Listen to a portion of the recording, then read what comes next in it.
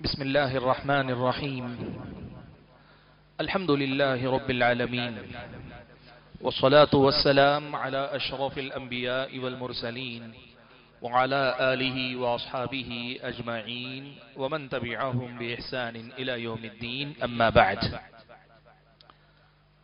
محترم حضرات اور پردہ نشین خواتین اسلام، نماز تراویح کے بعد مسلسل ہم اور آپ توحید اور شرک کے متفرق مسائل سنتے آ رہے۔ ہیں گزشتہ دو دن سے ہم اور آپ اللہ کی عبادتوں میں شرک کی مثالیں سنتے آ رہے ہیں کہ جو اللہ کی عبادت ہے، وہ عبادتیں لوگ کس طرح غیر اللہ سے جوڑتے ہیں اور شرک میں مبتلا ہوتے ہیں، اس حوالے سے ہم نے گفتگو جاری رکھی۔ کئی عبادتوں کا میں نے آپ کے سامنے تذکرہ کیا۔ اور آج کے درس میں بھی انشاءاللہ کئی اہم عبادتوں کا تذکرہ کروں گا، بلکہ یوں سمجھیے کہ سب سے اہم اللہ تعالیٰ کی الوحیت، اللہ کی عبادت میں شرک کی سب سے اہم جو شکل ہے، وہ آج کے درس میں آپ کے سامنے میں ذکر کرنے جا رہا ہوں۔ یہ شکل کیا ہے؟ چار عبادتوں کا میں ذکر کروں گا، جن چار عبادتوں کا معنی قریب قریب ہے۔ اور ان چاروں میں لوگ شرک میں مبتلا نظر آتے ہیں۔ آپ کی سمجھ میں یہ بات خود بخود آئے گی۔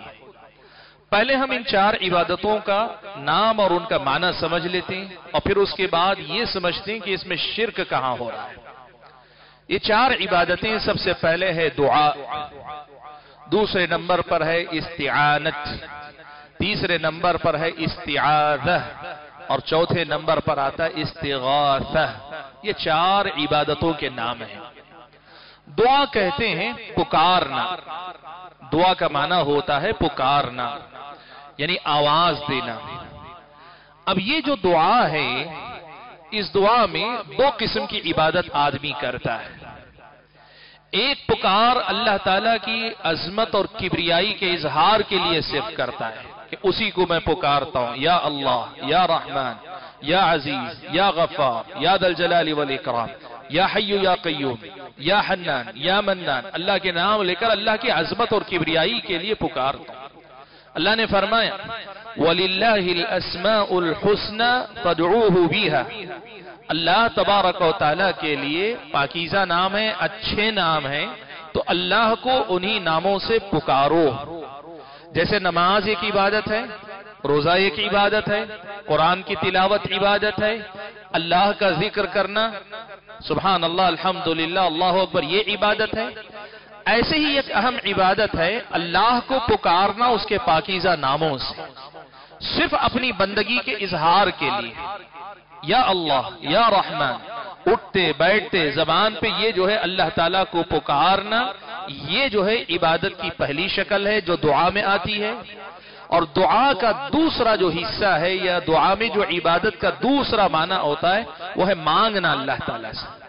دعا کے معنی میں پکارنا، مدد کے لیے پکارنا، اپنی حاجت کے لیے پکارنا، سوال کرنا۔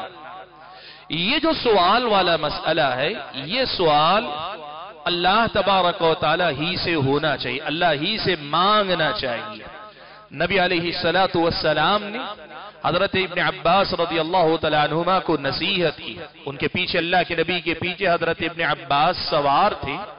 تو آپ صلی اللہ علیہ وسلم نے کہا، یا غلام، اے بچے، انی معلموں کا کلمات، میں کچھ باتیں تمہیں سکھا رہا ہوں، بڑی اہم باتیں۔ اور اس میں جو الفاظ آپ نے سکھائے، ان میں سے ایک جملہ یہ بھی ہے، اذا سألت فاسأل اللہ. جب پوچھو، جب مانگو، تو اللہ ہی سے مانگو۔ وَإِذَا اسْتَعَنْتَ فَاسْتَعِنْ بِاللَّهِ، جب مدد طلب کرو، تو اللہ ہی سے مدد طلب کرو۔ تو یہ جو مانگنا ہے، کوئی بھی چیز مانگنی ہو، کوئی بھی سوال کرنا ہو، یہ جو ہے اللہ کی عبادت ہے، اللہ ہی کے ساتھ ہونی چاہیے۔ تو پہلی عبادت دعا ہے اور دعا میں دو پہلو ہیں، ایک اللہ کی تعظیم کے لیے اسے پکارنا، دوسری اپنی حاجت کے لیے پکارنا، اپنی ضرورت کے لیے پکارنا، مانگنا اللہ تعالیٰ سے۔ اہل علم اس کو کہتے ہیں دعائے عبادہ اور دعائے مسئلہ یعنی دعائے سوال، دو قسمیں۔ اچھا یہ جو دعا ہے، دعا کے بعد دوسرے نمبر پر آتی ہے عبادت، استعانت، مدد کے لیے پکارنا۔ یہ دعا سے زیادہ خاص ہے۔ دعا میں آپ اللہ تبارک و تعالیٰ کی عظمت کے لیے بھی اللہ کو پکارتے ہیں، اپنی حاجت کے لیے بھی پکارتے ہیں۔ جو حاجت کے لیے پکارتے ہیں، دعا اسی کو استعانہ کہتے ہیں، مدد طلب کرنا، اللہ سے مانگنا، اللہ سے مدد مانگنا۔ یہ جو استعانت ہے، یہ بھی عبادت ہے اور یہ بھی اللہ ہی کے ساتھ خاص ہونی چاہیے۔ اللہ نے فرمایا ایاک نعبد و ایاک نستعین ہم تیری ہی عبادت کرتے ہیں اور تجھی سے مدد مانگتے ہیں۔ تو مدد صرف اللہ تبارک و تعالیٰ سے مانگی جاتی ہے۔ اور جو حدیث میں نے پڑھی، اس میں بھی الفاظ، وَإِذَا اسْتَعَنْتَ فَاسْتَعِنْ بِاللَّهِ۔ جب مدد مانگو تو صرف اللہ تبارک و تعالیٰ سے مدد مانگو۔ یہ دوسری عبادت، استعانت مدد مانگنا۔ یہ جو مدد ہے آدمی اچھی چیز میں بھی مدد مانگتا ہے، کوئی فائدہ حاصل کرنے کے لیے بھی مدد مانگتا ہے، اور کسی نقصان سے بچنے کے لیے بھی مدد مانگ سکتا ہے۔ مشکل آنے سے پہلے بھی مانگ سکتا ہے، مشکل کے آ جانے کے بعد بھی مانگ سکتا ہے۔ اس اعتبار سے استعانت، مدد طلب کرنے کا باب یہ عبادت عام ہے۔ اس سے زیادہ خاص عبادت آتی ہے، جسے میں نے کہا استعادہ استعادہ کا معنی ہوتا ہے پناہ طلب کرنا، پناہ مانگنا۔ اعوذ باللہ پڑھنا یعنی اللہ تبارک و تعالیٰ کی پناہ مانگنا۔ تو یہ عبادت یہ ہے کہ بندہ اللہ تبارک و تعالیٰ ہی کی پناہ مانگے۔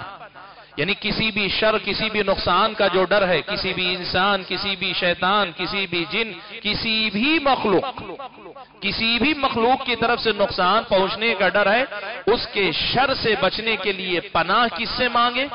صرف اللہ تعالیٰ سے مانگے۔ آپ سورہ فلق، سورہ ناس پڑھتے ہیں۔ قل اعوذ برب الفلق، من شر ما خلق۔ میں، وہ جو پاؤ پھاڑتا ہے یعنی جو ہے، اندھیرے کو چیر کر، صبح طلوع کرواتا ہے، اس رب کس کی پناہ میں آتا ہوں۔ من شر ما خلق۔ ہر اس چیز کے شر سے جس کو اس نے پیدا کیا۔ یعنی تمام مخلوقات کے شر سے ہم کس کے پناہ میں آتے ہیں؟ اللہ ہی کی پناہ میں آتے ہیں۔ اللہ نے کہا، فَاسْتَعِذْ بِاللَّهِ اللہ کے نبی، آپ اللہ کی پناہ مانگیے۔ اللہ کی پناہ طلب کیجیے اور ہم سب کیا پڑھتے ہیں؟ اعوذ باللہ من الشیطان الرجیم۔ میں اللہ کی پناہ میں آتا ہوں۔ کس سے؟ شیطان مردود سے، اس کے شر سے میں اللہ کی پناہ میں آتا ہوں۔ تو پناہ جو مانگی جاتی ہے، وہ بھی اللہ ہی سے مانگنی چاہیے۔ یہ تیسری عبادت، یہ کب ہوتی ہے؟ مصیبت آنے سے پہلے، شر آنے سے پہلے آدمی پناہ مانگتا ہے۔ اور اس کے بعد ایک اور عبادت آتی ہے، جسے میں نے کہا، استغاثہ۔ استغاثہ، غوث۔ آپ غوث کا لفظ سنتے ہیں، اسی سے مدد طلب کرنا۔ اور یہ جو مدد طلب کی جاتی ہے، خاص طور پر جب آدمی کسی مصیبت میں مبتلا ہو گیا ہو، تو اس مصیبت سے نجات پانے کے لیے، چھٹکارا پانے کے لیے مدد طلب کرنا۔ یہ استغاثہ کہلاتا ہے۔ اور یہ عبادت بھی اللہ تعالیٰ کے ساتھ خاص ہونی چاہیے۔ اللہ نے فرمایا اذ تستغیثون ربکم فاستجاب لکم۔ یاد کرو اس وقت کو، جب جنگ بدر کے موقع پہ تم اپنے رب سے مدد طلب کر رہے تھے۔ اچانک مشرقین سے سامنا ہو گیا ہے۔ ہتھیار جنگ کی تیاری نہیں مشرقین کا لشکر بھی۔ لشکر ہے وہ، یہ قافلے کو روکنے کے لیے آئی جماعت ہے، وہ جنگ کے لیے آئی ہوئی جماعت نہیں، وہ تو سامنے سے لشکر آیا ہے، تعداد میں بھی زیادہ۔ ایک طرح سے پھنس گئے ہیں۔ اس موقع پہ مسلمانوں نے مدد طلب کی کہ اس مشکل میں ہمارے کام تو ہی آ سکتا ہے۔ تو کسی بھی مشکل میں پکارنے کو استغاثہ کہتے ہیں۔ تو معلوم کیا ہوا، یہ چار عبادتیں۔ دعا ہے، استعانت ہے استعاذہ ہے اور استغاثہ، یہ چار عبادتیں، یہ چاروں کی چاروں صرف اللہ تبارک و تعالیٰ کے ساتھ خاص ہونی چاہیے۔ اب اگر کوئی بندہ، کوئی انسان اللہ کے علاوہ کسی اور کو تعظیم کے طور پہ پکارتا ہے، ان کی عظمت اور کبریائی ظاہر کرنے کے لیے پکارتا ہے، یا مدد مانگنے کے لیے پکارتا ہے، یا پھر پناہ ان کی مانگتا ہے، یا مصیبت سے چھٹکارا دلانے کے لیے ان کو پکارتا ہے، تو غیر اللہ کو پکارنا یہ شرک ہے۔ غیر اللہ کو پکارنا یہ شرک ہے۔ اس لیے کہ دعا عبادت ہے، استعانت عبادت ہے، استعادہ عبادت ہے، استغاثہ عبادت ہے، یہ عبادتیں اللہ کے ساتھ خاص ہونی چاہیے۔ غیر اللہ کو نہیں پکارنا چاہیے۔ اللہ نے کہا، فلا تجعو مع اللہ احد اللہ کے ساتھ تم کسی کو نہ پکارو۔ یہ پکارنا خود عبادت ہے۔ بہت سارے لوگ کیا کہتے ہیں پتا ہے آپ کو؟ نہیں، ہم جن اولیاء کو پکارتے ہیں، ہم ان کو خدا نہیں مانتے۔ بات نوٹ کریں آپ وہ معاملات جو اللہ تعالیٰ کے اختیار کے ان میں غیر اللہ کو پکارنا خود شرک ہے۔ آپ کیا سمجھ کے پکارتے ہیں؟ وہ بعد میں مسئلہ۔ جو معاملات اللہ تعالیٰ کے اختیار کے ہیں، وہ معاملات اللہ ہی کی تک رہنے چاہیے، غیر اللہ تک نہیں جانے چاہیے۔ اگر کوئی آدمی غیر اللہ کو پکارتا ہے، تو اس کا پکارنا یہ شرک ہے۔ آج آپ دیکھیے ہمارے سماج میں یہ شرک بہت عام ہے۔ یا غوث پکارتے ہیں، یا رسول اللہ پکارتے ہیں، یا کسی بھی پیر کا نام لے کر پکارتے ہیں، کسی بھی حاضر غائب کو پکارتے ہیں، ایسے پکار، وہ معاملات جو اللہ تعالیٰ کے اختیار میں ہیں، ان میں غیر اللہ کو پکارتے ہیں۔ یہ شرک ہے۔ اچھی بات، میں آپ کے سامنے اس مسئلے کا ایک اور پہلو بھی رکھ دیتا ہوں تاکہ ہم اور آپ اس مسئلے کو سمجھیں۔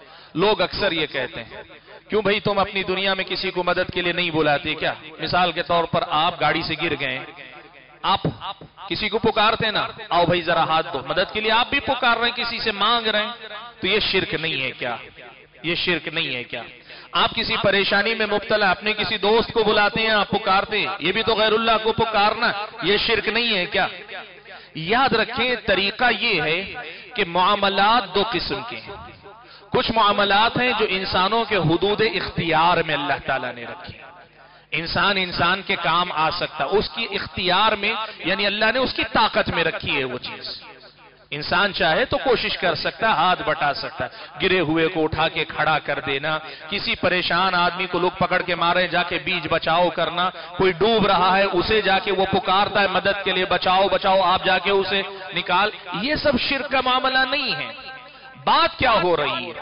وہ معاملات جو صرف اللہ تعالیٰ کے اختیار میں ہیں، ان معاملات میں غیر اللہ کو پکارنا، ان معاملات میں اللہ تعالیٰ کو چھوڑ کر غیر اللہ کو پکارنا۔ کون سے معاملات؟ بیمار ہو گیا، شفا کے لیے غیر اللہ کو پکارتا ہے۔ شفا کسی کے ہاتھ میں اللہ نے نہیں رکھی، ڈاکٹر کے ہاتھ میں بھی اللہ نے نہیں رکھی۔ آدمی بیماری کے میں مبتلا ہونے کے بعد کسی مصیبت کا شکار، کسی پریشانی میں مبتلا، غیر اللہ کو پکارتا ہے مدد کے لیے۔ کسی دشمن کا پیچھا ہے، تو وہ اس سے بچنے کے لیے کسی کو ایسے غائب کو، پیر کو، فقیر کو پکارتا ہے جو وہاں موجود نہیں۔ یاد رکھیے، اہل علم نے اسی لیے ایک ضابطہ بتایا۔ انسانوں کو پکارنا جائز کب ہو سکتا ہے؟ غیر اللہ کو کب پکارا جا سکتا ہے؟ غیر اللہ سے کب مانگا جا سکتا ہے؟ لوگ مذاق اڑاتے ہیں۔ یوٹیوب کا زمانہ ہے، آپ سنتے ہوں گے۔ غیر اللہ سے مانگنا شرک ہے۔ یہ جملہ ہے نا؟ اب اس کا مذاق بناتے ہیں۔ کیسے بناتے ہیں؟ کیوں بھائی تم اپنے ابا سے نہیں مانگتے کیا؟ ابا سے نہیں مانگتے؟ دو روپیہ دو، دس روپیہ دو، سو روپیہ دو، ہزار روپیہ دو۔ نہیں مانگتے اپنے ابا سے؟ تو یہ بھی تو شرک ہو گئے نہیں، یاد رکھیے اہل علم نے قرآن و سنت کی آیات اور احادیث کی روشنی میں ایک واضح ضابطہ دیا۔ کہا، کسی بھی غیر اللہ سے آپ اگر مانگ رہے ہیں، تین باتیں ان کے اندر پوری ہونی چاہیے۔ سب سے پہلے تو وہ زندہ ہو۔ یعنی وفات شدہ کسی شخص یا شخصیت سے نہیں مانگا جائے گا۔ زندہ ہونا چاہیے۔ انتقال شدہ شخصیتیں ہمارے اپنے والدین ہی ہو کبھی آپ انتقال کے بعد جا کے ابا کی قبر کے پاس مانگتے ہیں، ابا دو روپیہ، دو دس روپیہ، نہیں۔ زندگی میں جو مانگتے ہیں، زندہ ہونا چاہیے، پہلی شرط۔ دوسری شرط یہ ہے کہ وہ حاضر رہے یعنی موجود رہے کیسے موجود رہے یا تو آپ کے سامنے ہیں یا فون پہ بات کر رہے ہیں یعنی آپ کی وہ بات سن رہے۔ ہیں وہ جو ہے، سن رہے ہیں، موجود ہیں، آپ کی بات سن رہے ہیں۔ غائب ہیں، کہیں ہیں، آپ ان کو پکار نہیں سکتے، مدد کے لیے ان کو آواز نہیں دے سکتے آپ۔ جو قریب ہیں، جو حاضر ہیں، جو موجود ہیں، جو آپ کی آواز سن رہے ہیں، آپ کو دیکھ رہے ہیں، ان سے مدد مانگتے ہیں۔ کبھی کبھار آدمی ڈوب رہا ہے۔ ڈوبتے وقت وہ پکڑتا ہے، بچاؤ بچاؤ۔ کیا سوچ کر پکارتا ہے؟ میری آواز کسی کے کانوں تک پہنچ رہی ہے تو وہ بچانے کے لیے آئے گا۔ تو موجود انسان کو ہی وہ پکارتا ہے۔ تو ایسا آدمی جو حاضر ہو جو حاضر ہو، اس کو پکارے، دو۔ اور تیسری چیز، ایسے معاملات میں پکارے جو معاملات اس کے اختیار میں ہیں، جن کی مدد کرنے کی اس کی طاقت ہے۔ اولاد نہیں ہو رہی ہے، کسی زندے کو، کسی مردے کو انتقال کر گئی شخصیت کو پکارے؟ نہیں۔ یہ اللہ تعالیٰ کا حق ہے۔ وہ جو انتقال کر گئے، یا پھر یہ کہ وہ جو موجود نہیں، اس سے آگے بڑھ کر ان کے اختیار میں اللہ تعالیٰ نے نہیں رکھا۔ طالب علم نے کہا، یہ تین باتیں ہیں یاد رکھیں۔ زندہ ہو، حاضر ہو یعنی وہ آپ کی بات سن رہا ہو۔ اور تیسری یہ کہ جو چیز آپ اس سے مانگ رہے ہیں وہ دینے کی طاقت اس کے اندر ہو۔ یہ تین باتیں اگر اس کے اندر ہیں تو آپ اس سے مانگ سکتے ہیں۔ یہ غیر اللہ سے مانگنے کے جائز ہونے کی صورت ہے۔ یہ غیر اللہ سے مانگنے کی جائز ہونے کی صورت ہے۔ حالانکہ ویسے بھی غیر اللہ سے مانگنے کو اللہ نے اچھا نہیں قرار دیا کہ جہاں تک ہو سکے لوگوں سے مانگنے سے پرہیز کرو۔ جہاں تک ہو سکے جو مانگنا جائز ہے، اس میں بھی غیر اللہ سے مانگنے سے جہاں تک ہو سکے پرہیز کرو۔ اللہ کے نبی نے صحابہ سے کہہ دیا تھا، لوگوں سے سوال مت کرو، مانگو مت. تو بعض صحابہ اتنی احتیاط کرتے تھے، ان میں سے ایک گھوڑے پہ سوار ہوتے، ان کے اپنی ان کا اپنا جو کوڑا ہوتا تھا، جس سے گھوڑے کو دوڑاتے، وہ نیچے گر جاتا، کسی سے کہتے نہیں کہ اٹھا کے دے دو، وہ مانگنا نہیں چاہتے غیر اللہ سے. تو یہ الگ مسئلہ، جائز ہے غیر اللہ سے مانگنا ان معاملات میں جو زندہ ہیں حاضر ہیں اور جو معاملات ان کے اختیار میں، لیکن یہاں بھی ان سے مانگنے سے پرہیز کرنے کو اسلام نے اچھا کہا ہے۔ لیکن وفات شدہ شخصیتوں کو پکارنا، جو غائب ہیں، جیسے ہمارے ہاں ایک لفظ ہے، مردان غیب، آپ نے سنا ہوگا، مردان غیب کو لوگ پکارتے ہیں۔ مردان غیب کے نام پہ لوگ پکارتے ہیں یعنی وہ مانتے ہیں، ایسی بھی کچھ ہستیاں ہیں جو غیب غائب رہتی ہیں، ہماری پکار سنتی ہیں۔ مردان غیب کو پکارنے کا جو مسئلہ ہے یہ، اور ایسے ہی ایسے معاملات میں پکارنا جو معاملات مخلوقات کے اختیار میں نہیں۔